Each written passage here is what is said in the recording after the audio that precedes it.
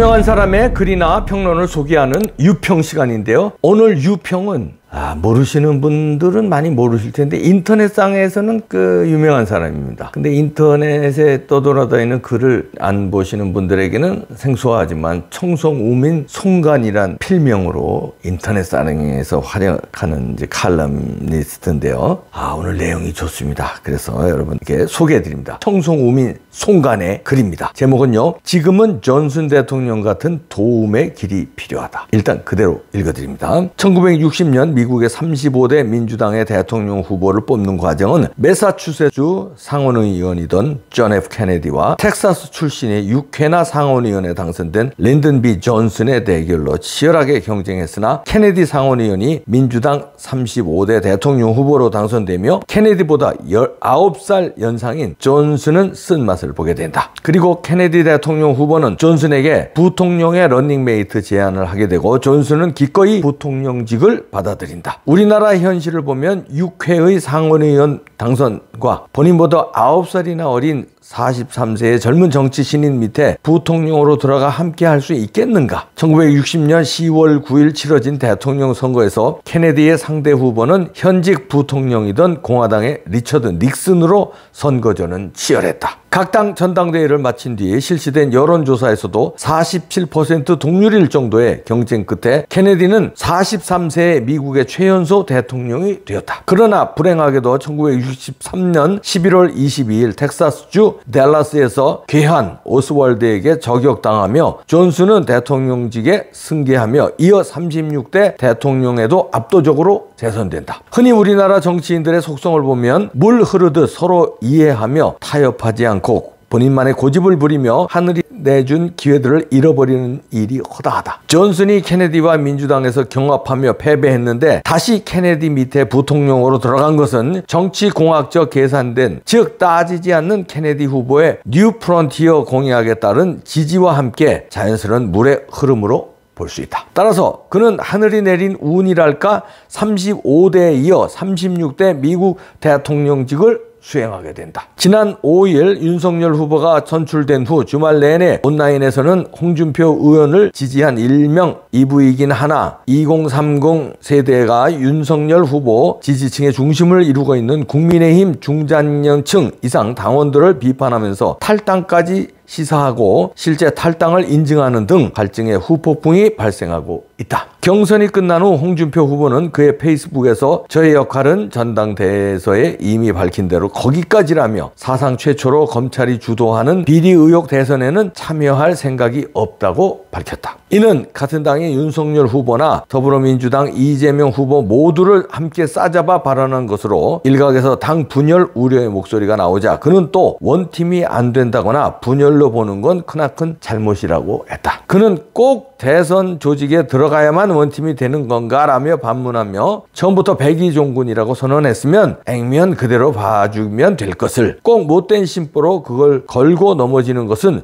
획일주의 군사문화의 잔재가 아닌가 라며 특유의 독설로 나타냈다. 이런 상황이 되니 4개월 남짓 남긴 대선에서 꼭 정권 교체를 해야 한다는 60%의 국민들은 후보들과 진영들 간 사라지지 않는 앙금이 남아있는 현실이 불안하기만 하다. 이런 상황에서는 서로가 자극이 될 수 있는 언행과 태도는 삼가해야 하며 어쩌면 근소한 차이로 선택되지 못한 홍준표 후보에게 억울할 수 있으나 조용히 수용하는 태도가 국민들의 마음속에 다가갈 수 있고 윤 후보는 승자로서 홍 후보에게 쉽고 초려해서라도 찾아가 홍 후보의 마음에 변화를 일으켜 함께해야 대선에서 승리할 수 있다. 윤석열 후보는 지금 이 시점에서 홍 후보를 지지했던 많은 2030 세력의 지지자들과 홍 후보 진영에 있었던 사람들이 함께하지 못한다는 원망보다는 화합하는 자세와 언행이 더욱 절실하다. 홍준표 의원 또한 린든 비 존슨 대통령이 걸어갔던 마음을 비우는 자세로 윤 후보와 손잡고 정권 교체를 한다면 대다수 국민들은 지지 속 박수와 함께 앞으로 또 다른 좋은 기회가 있으리라 생각된다. 홍준표 의원은 이번이 대권의 마지막 기회라고 늘 말했지만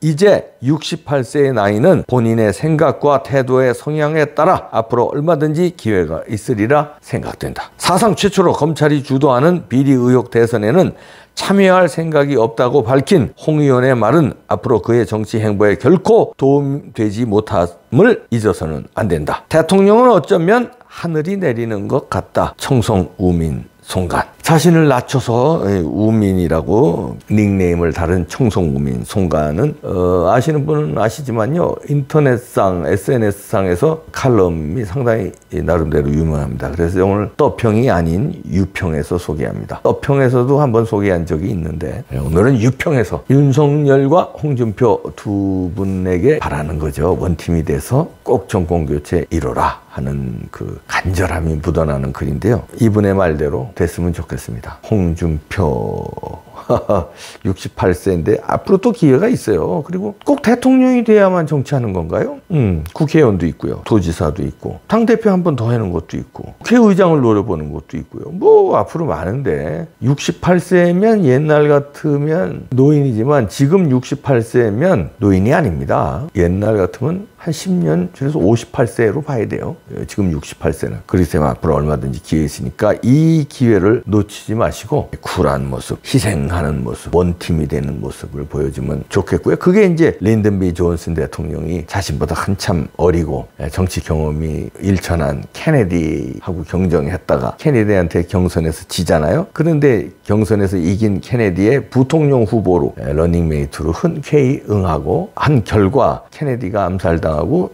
승계했잖아요. 대통령이 되고. 그 다음에 또 재선에 성공하는데 압도적인 표차로 재선에 성공한 것은 미국 국민들이 그의 그 쿨한 모습, 자기하고 소신이 같은 케네디를 아무 조건 없이 열렬히 지지한 그의 모습에 미국 국민들이 감동을 받은 건데 그게 이제 원팀 정신 아니겠습니까? 홍준표 의원께서도 원팀 정신을 보여줬으면 하는 마음 정성우민 송강과 뜻을 같이 하고요. 그 다음에 윤석열 후보도 감싸야 된다 이런 얘기를 하네요. 그것도 저도 동감합니다. 그러면서 이제 여기서 거론되지 않았지만 안철수를 감싸야 돼요. 아름다운 단일화 경선에 참여시키도록 끌어들여야 됩니다. 그런 거는 이제 배려를 해야죠. 단일화 우리 합시다. 그러나 단일화 경선 룰은 공정하게 하겠습니다. 그쪽을 오히려 배려하겠습니다. 원하는 문항이 뭡니까? 아니면 원하는 방식이 뭡니까? 이렇게 오히려 역제안하는 거예요. 그래서 안철수의 의견대로 다 그냥 다 받아줘도 어차피 윤석열이 이길 가능성이 더 크잖아요. 그러면 쿨하게 다 받아주면 안철수 원하는 방식으로 여론조사가 됐든 무슨 투표가 됐든 100% 원하는 대로 하십시오. 그대로 따르겠습니다. 만약에 윤석열 후보가 이러면은 인기 더 올라갑니다. 그리고 안철수는 들어오게 되고 그래서 아름다운 경선을 하는 거예요. 아, 윤석열 1등 되고 안철수가 2등 되든 그또 반대가 되든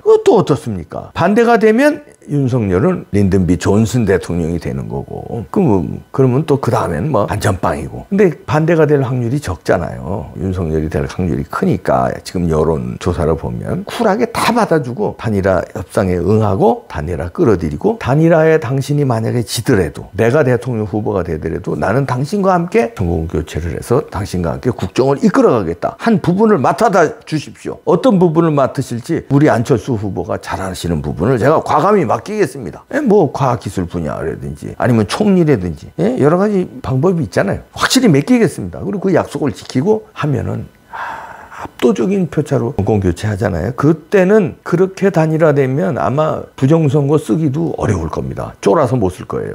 어유 이건 뭐 웬만큼 써가지고 안 되는. 그러면 부정선거도 몰아낼 수 있고요. 그러면서 부정선거는 꼭 내가 대통령이 되면 밝히겠다 선언해 주시고요. 그래야 민주주의가 제대로 됩니다. 그래야 사기가 없어져요. 선거 사기가 있으면 되겠습니까? 그리고 제가 누차례 얘기지만 다른 분들도 제3지대 국민혁명당 김경재 후보 또 김동연 김동연이 저쪽으로 갈지도 모르겠습니다만 끌어안는 자세 최대지 그 다음에 우리공화당 조원진 후보 이렇게 같이 다 이렇게 그런 통합을 보여줄 때, 야 역사상 가장 위대한 통합의 정치가다. 통합의 대통령이다. 이런 칭송을 받을 겁니다.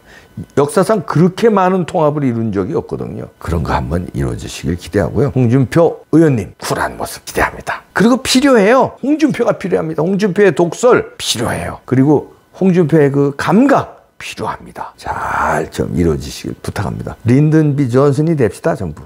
누가 됐든.